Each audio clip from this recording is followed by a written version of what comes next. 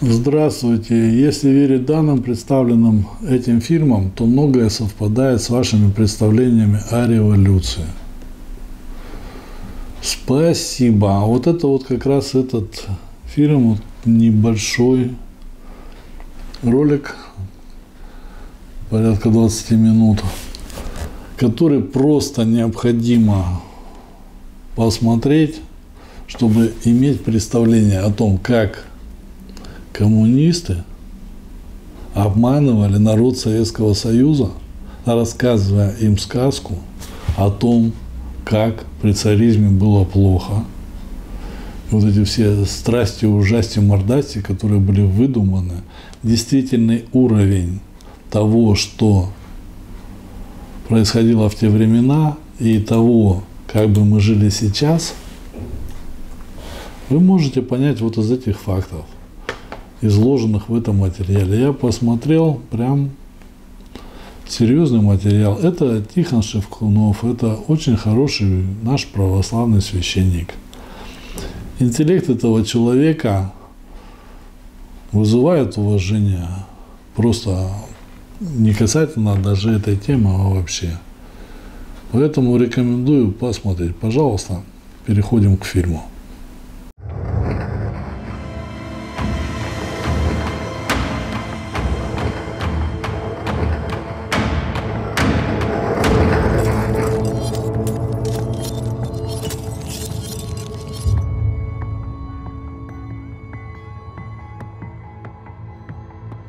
Без всякого преувеличения можно сказать, что в 1913, в 1914 довоенном году э, уровень жизни рабочих в Российской империи был такой, о котором в дальнейшем приходилось только мечтать.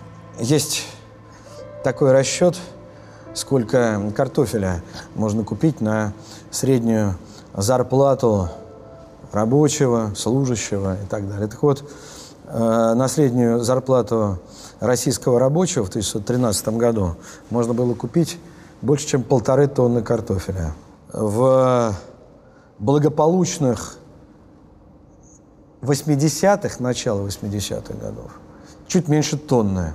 А, скажем, в 2008 году только 600 килограмм. Но э, такое благополучие было, конечно, не всегда. До 1905 года положение рабочих во многом было очень тяжелым. Жизнь в бараках, зачастую антисанитария, медицинское обслуживание, отсутствие профсоюзов.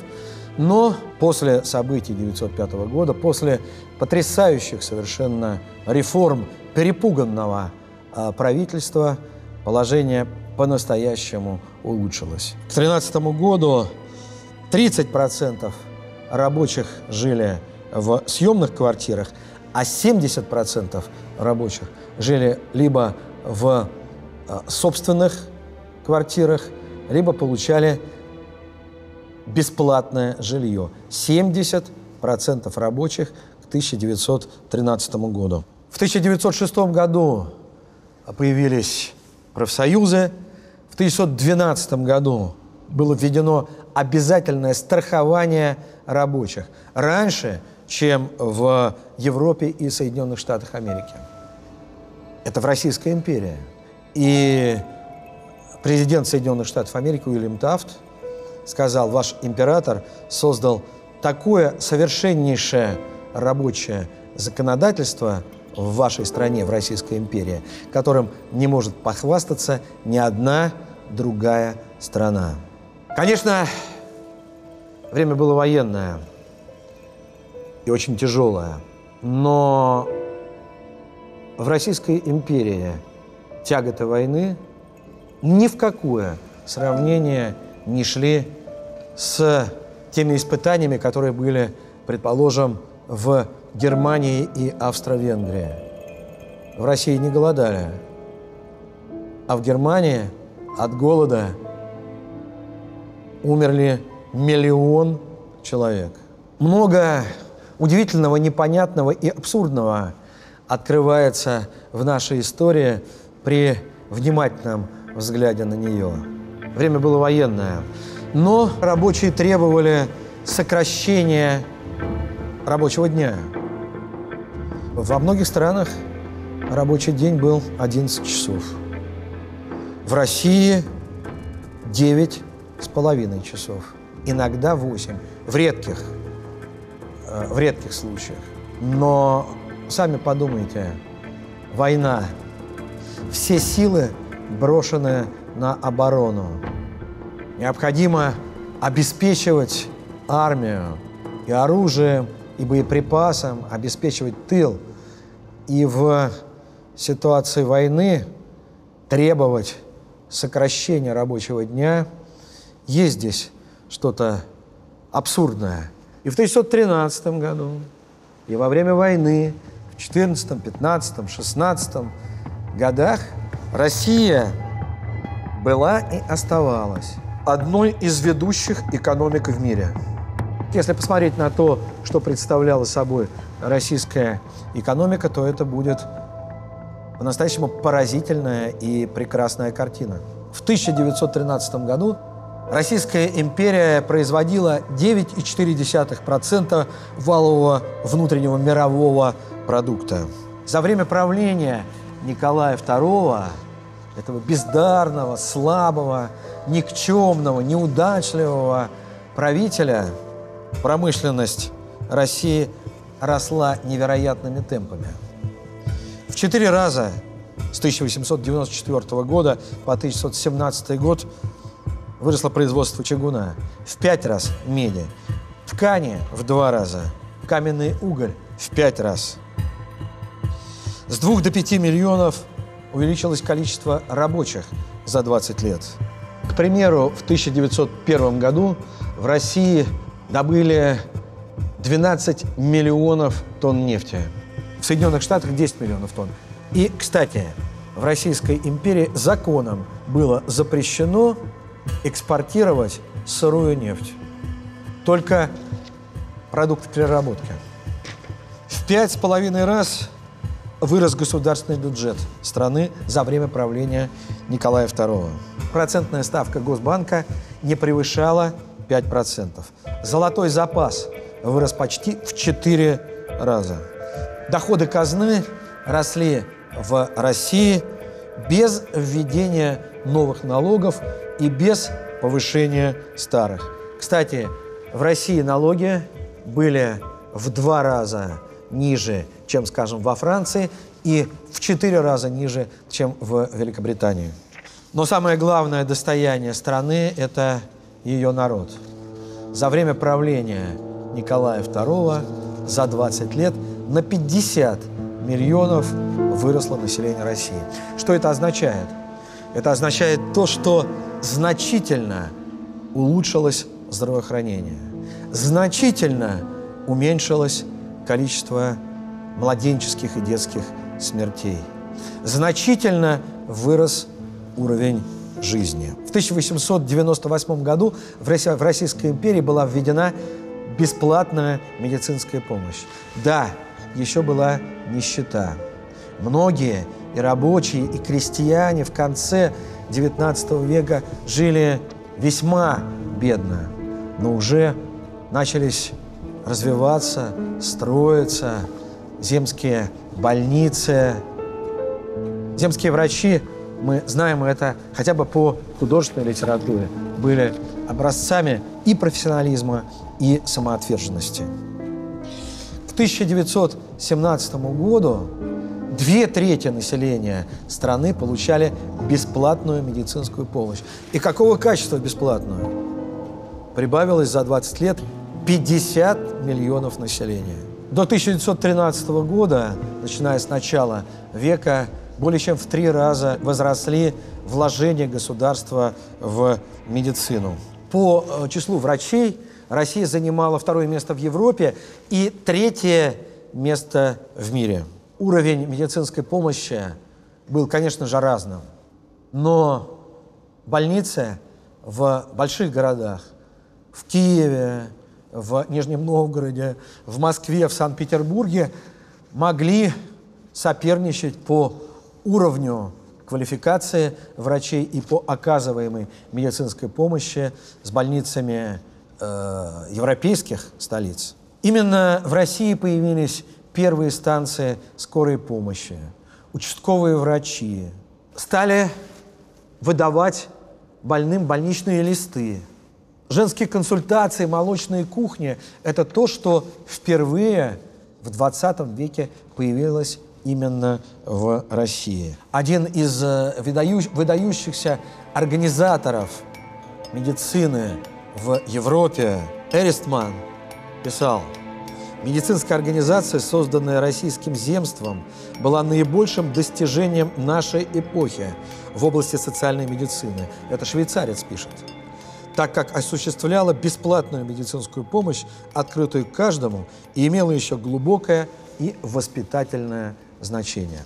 Образование в Российской империи было одним из лучших в мире.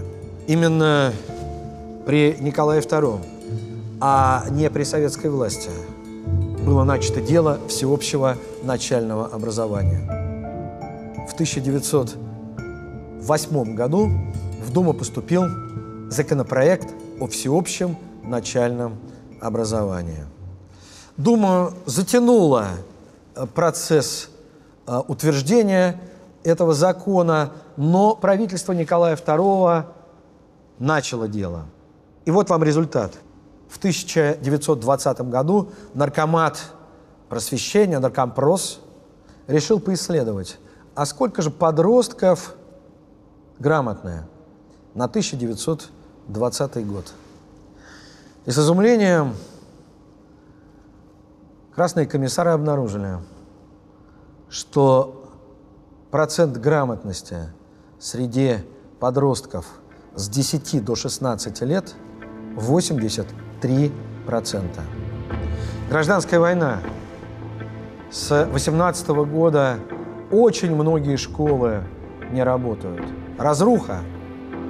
Это были как раз те дети, которые и в церковно-приходских школах, и в светских школах получали начальное образование. Более чем в шесть раз вырос бюджет на образование за время правления Николая II. 10 тысяч учебных заведений ежегодно открывались по всей территории Российской империи. Россия занимала третье место в мире по количеству студентов, такое же, как Великобритания. Мы делили это третье место с огромной, гигантской, самой большой в мире на тот момент державой.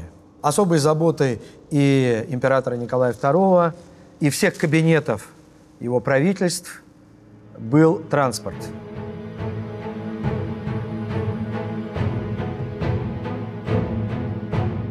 Громадная страна.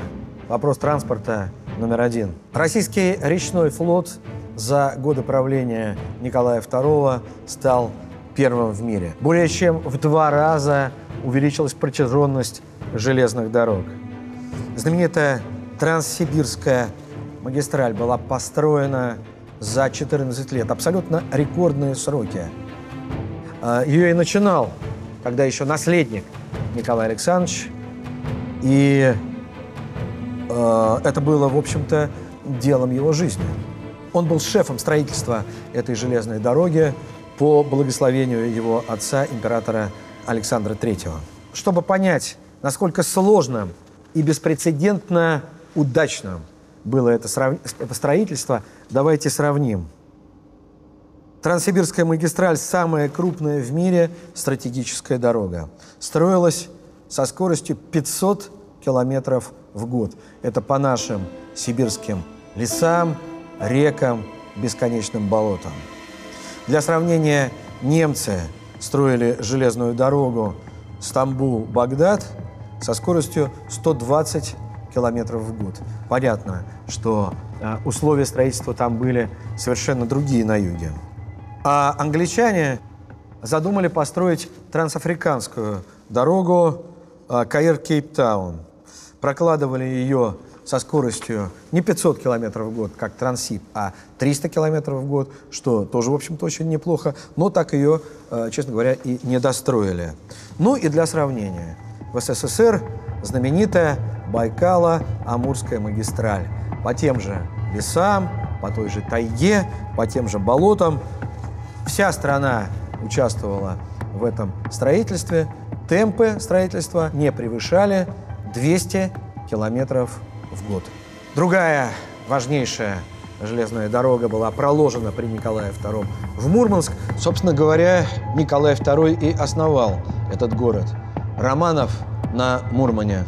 Темпы роста промышленности, благосостояния населения, темпы прироста населения были настолько беспрецедентными, что наш великий ученый Дмитрий Иванович Менделеев представил обществу абсолютно научный прогноз. К 2000 году население России должно было составить почти 600 миллионов человек. Сейчас, зная, что нас 147 миллионов, задаешься вопрос, а что же, собственно говоря, произошло? Но прогнозы делались не только нашими отечественными учеными. В 1912 году в Россию прибыл французский экономист Эдмон Терри. Он был главным редактором крупнейшего французского экономического журнала, приехал к нам с группой своих э, сотрудников э, по поручению нескольких французских министров. Франция в то время была одним из основных наших кредиторов. Мы получали довольно большие займы у Французской Республики. И в задачи Эдмонда Три входило проанализировать, насколько российская экономика а, стабильно и сможет справиться с теми задачами, которые ставит царское правительство, начиная с 1913 года, а к 1917 году должно было произойти в том числе и перевооружение российской армии. И вот э, отдадут ли русские кредиты французским банкирам? Э, не блеф ли это? Вот была, такова была главная задача, главный вопрос, поставленный перед э, французскими экономистами. И вот что пишет в своем заключении Эдмон Терри, побывав и в России, и исследовав ее экономику. Если дела европейских наций – будут с 1912 года по 1950 идти так же, как они шли с 1900 по 1912, Россия к середине текущего века будет господствовать над Европой как в политическом, так и в экономическом и финансовом отношении. На самом деле так оно и получилось. Россия к середине 20 века стала одной из ведущих экономик в мире, второй – 22, кажется, процента мирового ВВП было у Советского Союза. Но какими жертвами, какими усилиями, какой страшной кровью был, были достигнуты эти экономические успехи. Ничего подобного принудительному труду в ГУЛАГах, нищенским зарплатам рабочих, отсутствием зарплат у крестьян и практически крепостным правом, вторых, трудоднями, когда у крестьян не было и паспортов, они не могли выехать из своих деревень. Репрессиями, отсутствием элементарных свобод. Ничего этого не было в Российской империи. И именно вот такими небывалыми, страшными народными усилиями была, был достигнут расцвет экономики в нашем прекрасном, замечательном государстве. Я без всякой иронии говорю, я родился в этом государстве, в Советском Союзе. Но без боли невозможно думать о том, какими жертвами давалась это великое и необходимое могущество Советского Союза. Вот это факты. Это факты о нашей жизни, о том, что в результате внешнего вот этого внешней инвазии, внешней агрессии было разрушено в нашей стране. Наша страна, наша мощь была уничтожена. Все остальные наши достижения были уже в результате перемоги, несмотря на ту кровь, которую мы пролили, на то замедление в нашем развитии, мы все равно достигали чего-то там, летели в космос и так далее. Если мы двигались бы естественным путем, мы бы были гораздо дальше, мы бы были гораздо сильнее и гораздо мощнее. Люди, которые продолжают топить за коммунизм сейчас в 21 веке, это вредители, это конченые, слабоумные товарищи. Не слушайте коммунистов, это враги нашего общества. Ни в какой коммунизм нам нельзя. В социализм – да, но социализм без коммунистического хозяйствования, без коммунистической формы собственности. Мы должны развиваться социалистическим путем – но без коммунистического принципа. С вами был Виктор Катющик, научный трибунал.